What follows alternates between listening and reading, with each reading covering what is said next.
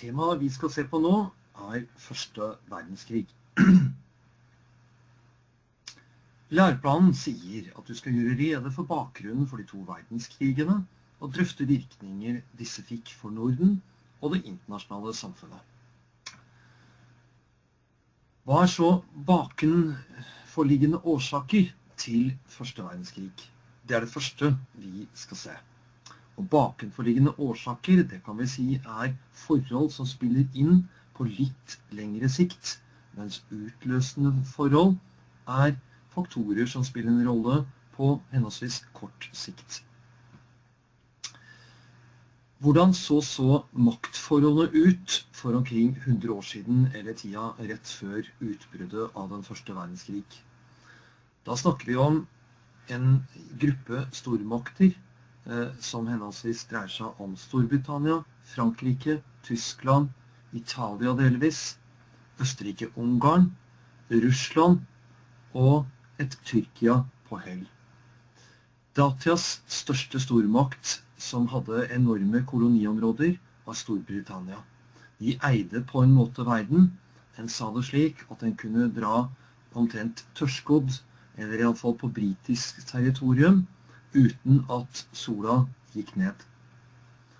Tyskland er i en utfordrerrolle. Tyskland er en av de statene sammen med Italia som ble senest samlet på omkring 1870.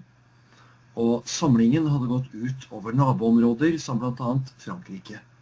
Og tyskerne frykta både franske hevntanker, og de frykta også en industrialisering i Russland som dels ble støtta av Frankrike, at dette skulle gå ut over og true Tysklands sikkerhet.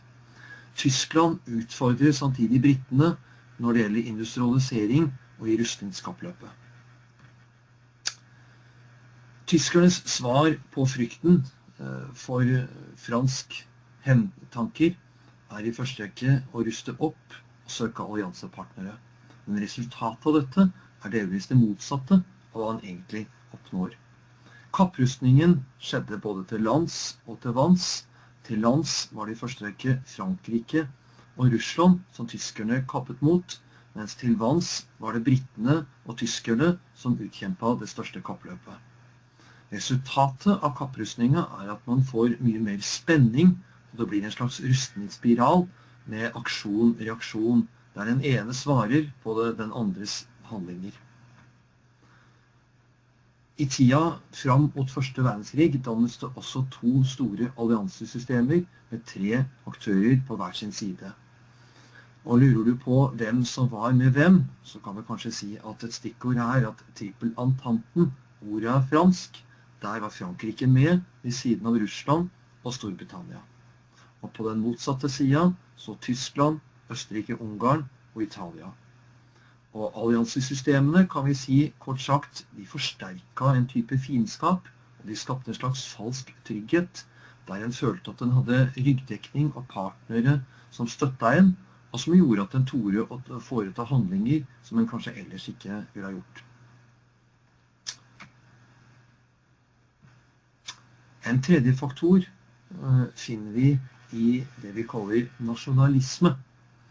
Dette skapte en tro på egen fortreffelighet, der en ble systematisk opplært gjennom skolesystemet og propaganda til å tro at ens egen kultur, nasjon og stat var overlegen de andre rundt en. Og dette ble altså brukt til å rettferdiggjøre de enorme summene som ble brukt på opprustningen, eh, og den aggressive utenrikspolitikken som ble ført.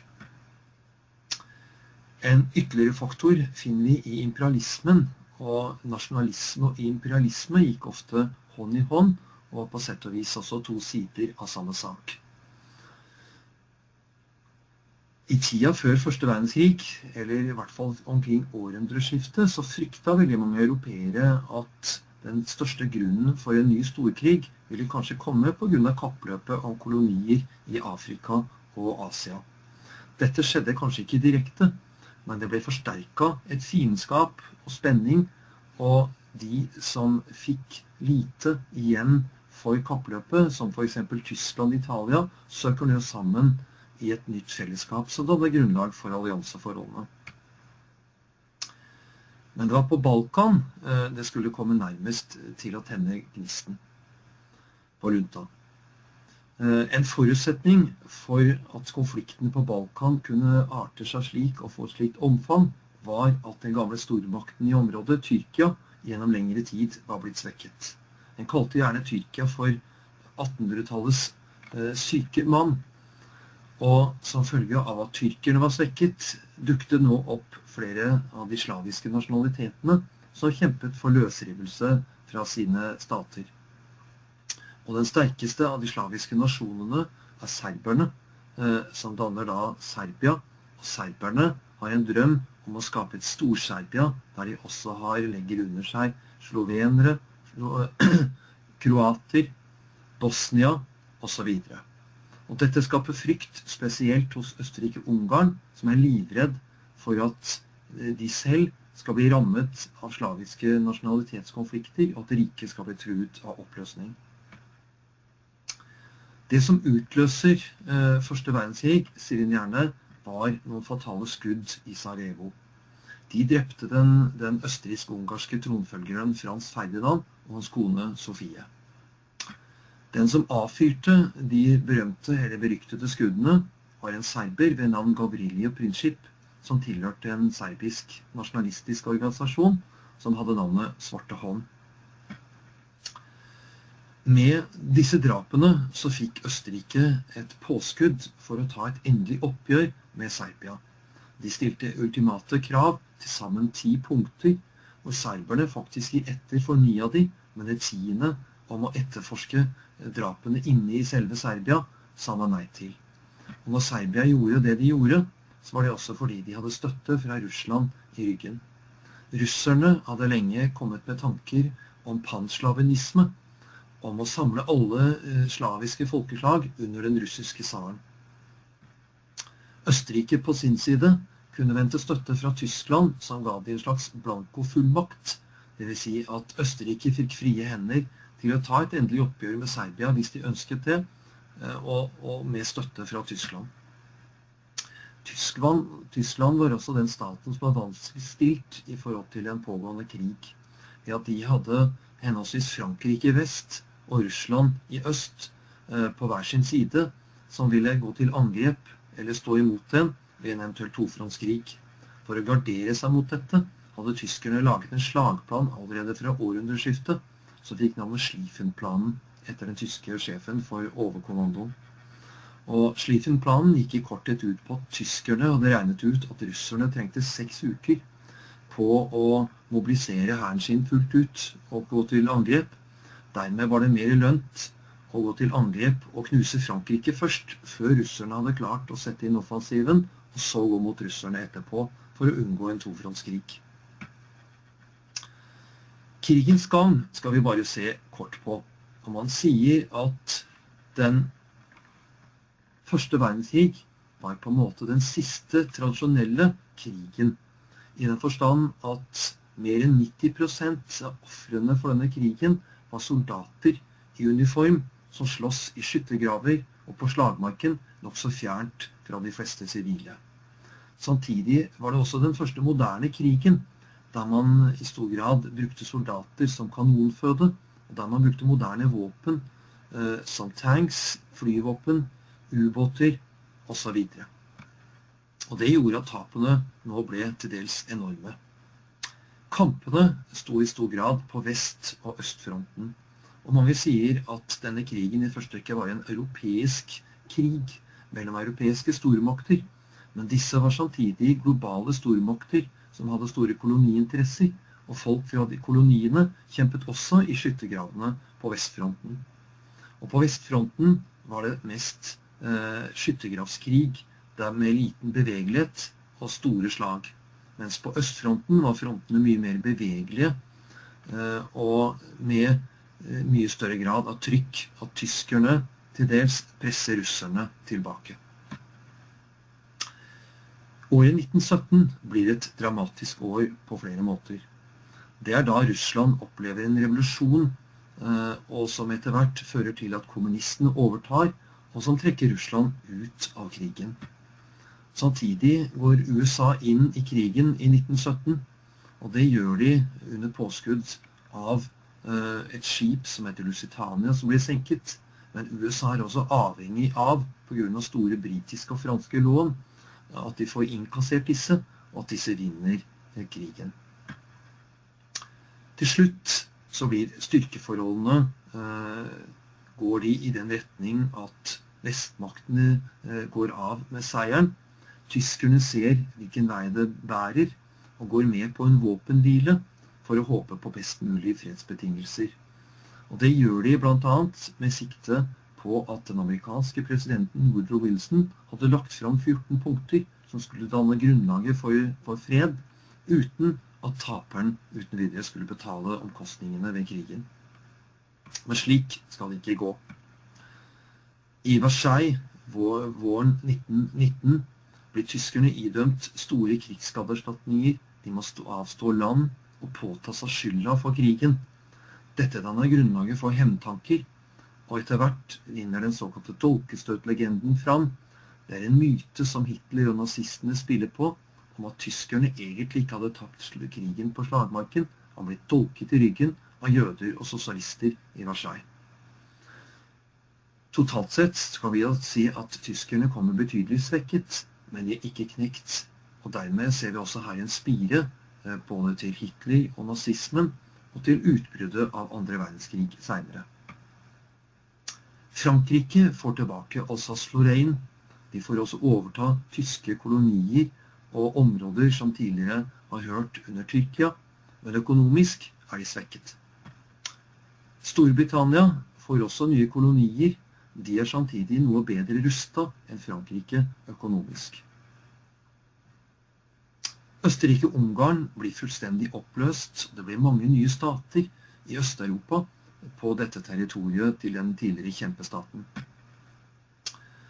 Serbia får sin bonus med Jugoslavia, men det er vanskelig å trekke etniske grenser på Balkan, hvor folkene bor nokså sammensatt og spredt om hverandre.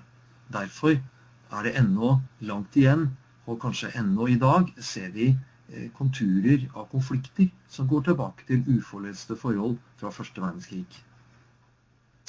Tyrkia mister mer eller mindre kontrollen over Midtøsten, og dermed legger også oppgjøret til første verdenskrig her grunnlaget for konflikter i Midtøsten som vi ser fremdeles den dag i dag med Palestina-spørsmålet bl.a. Italia sier en gjerne vinner krigen, men taper freden.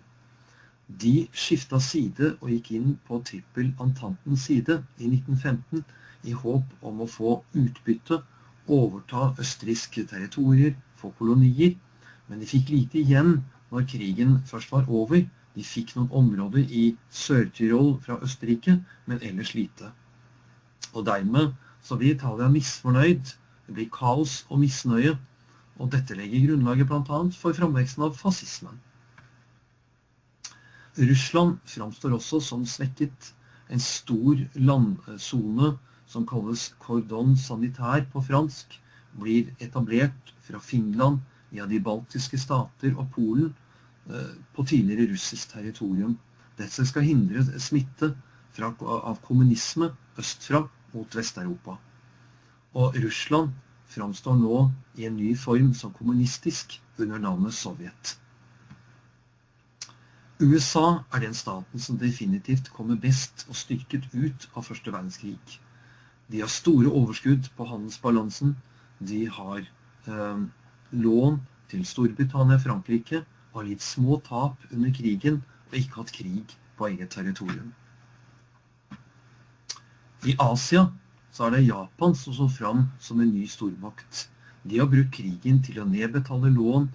De får store områder i, i Asia og framstår nå som en, en, trussel og rival både i forhold til Kina og etter hvert i forhold til USA. De som er mest misfornøyd, er kinesere, vietnamesere, armenere, kurdere og arabere. Med oppgjøret til første verdenskrig får man også de første spirene til det som ble kalt Folkeforbundet og den internasjonale domstolen i Haag. Folkeforbundet blir imidlertid bare en begrensa suksess i mellomkrigstida, da verken USA, Tyskland eller Russland på noe tidspunkt er med samtidig. Tankene var fra Woodrow Wilson om etablering av dette, men han fikk ikke Kongressen med på dette at USA skulle være med deg selv. Hva så med Norge og første verdenskrig? Norge hadde alt fra 1905 lagt nøytralitet til grunn for norsk utenriks- og sikkerhetspolitikk. I tida fram mot første verdenskrig så, så en en økende grad av det vi kaller russerfrykt, spesielt i nordområdene. At russerne, den, den russiske fare, skulle innebære en, en, en, frykt for konfrontasjon og krav om landoppståelser i nord. Ved utbruddet av den første verdenskrig eh, så går de tre norske, nordiske kongene med på et møte som danner grunnlaget for en felles politikk omkring nøytralitet og det å stå utenfor krigen som, et, som et, en felles målsetting. Etter hvert så blir det imidlertid eh, mer press på norsk territorium og norsk, norske ressurser. Spesielt er det tungmetaller og fisk som utlendinger, henholdsvis tyskere og briter, er mest interessert i. Tyskerne fordi de trenger fisken, og britene for at tyskerne ikke skal få kjøpt den. En norsk historiker kalte på 1960-tallet Norge for den nøytrale allierte. Og dette har delvis blitt stående som en slags klisjé i tida etterpå. Det sier noe om at den norske nøytralitetspolitikken eh, etter hvert skred over i forhold til trippelantanten, og spesielt forhold til Storbritannia, ble avgjørende. En inngikk etter hvert en avtale, den såkalte tonnasjeavtalen, der britene skulle forsyne Norge med olje, kull og andre livsnødvendige varer, mens Norge på sin side skulle frakte allierte soldater eh, over Nordsjøen når det trengtes, å stille sin store flåte til disposisjon. Krigen er også en tid med store sosiale forskjeller og store svingninger. Og Deler av første verdenskrig kaller en gjerne for jobbetida. Og Det er litt ironisk med tanke på at ordet 'jobbe' her står nok ikke for noe fysisk arbeid, men aksjespekulasjon som ga store muligheter til fortjeneste, men også tap om, om skipene ble torpedert. For mange, spesielt de to siste krigsårene, så ble første verdenskrig en tøff tid, en såkalt dyrtid, med store sosiale forskjeller og nød pga. vareknapphet og forsyningsproblemer.